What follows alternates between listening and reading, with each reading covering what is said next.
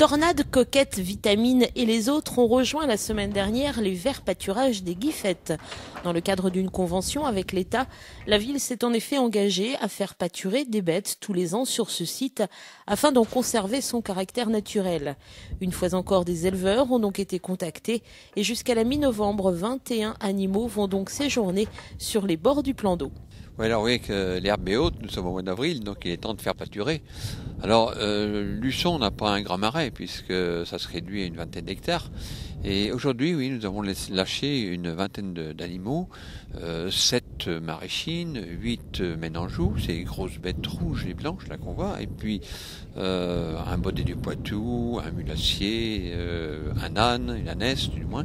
Donc oui, on va avoir un échantillon de, de ces races qui sont issues euh, du marais Poitevin, où les ménanjous sont issus de, du Maine-et-Loire, pas très très loin. Donc oui, on va avoir des animaux qu'on n'a pas forcément l'habitude de voir sur Luçon et que les gens pourront admirer euh, tout au long de l'été.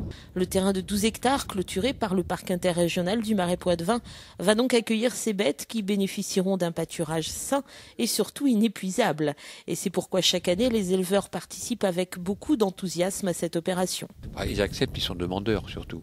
Euh, Aujourd'hui, nous avons euh, plusieurs éleveurs qui sont ici et euh, c'est intéressant pour eux parce que certains n'ont pas assez de, pâturage et l'herbe est bonne ici euh, sur Luçon au plan d'eau, autour du plan d'eau, elle est excellente. Et oui, ils sont demandeurs, ils reviennent euh, tous les ans. Nous sommes obligés de sélectionner parce qu'on ne peut pas prendre tout le monde et on sélectionne, oui, les meilleurs animaux.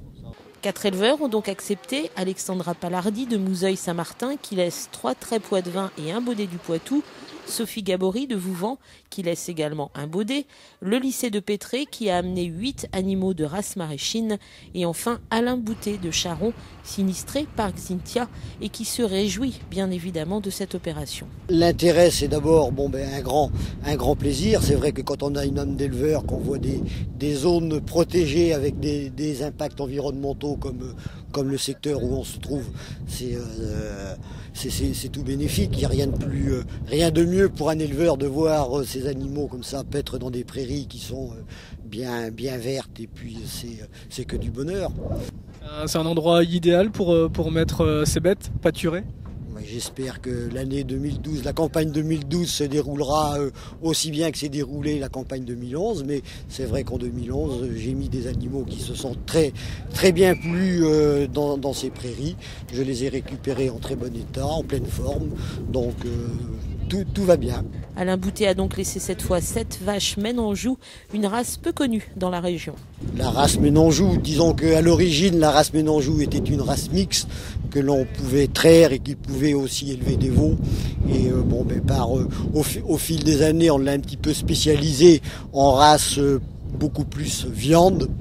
Mais bon, elle a, elle a toujours quelques spécificités de race laitière qui lui compromettent quand même un petit peu ses valeurs bouchères. Et donc euh, les, les, races vraiment vraiment bouchères comme les blondes d'Aquitaine, les limousines ou des partenaises sont quand même un petit peu plus euh, performantes entre guillemets que la Ménanjou. Et vous pouvez bien évidemment croiser tout ce beau monde lors de vos promenades au Guifette et ce jusqu'au mois de novembre prochain.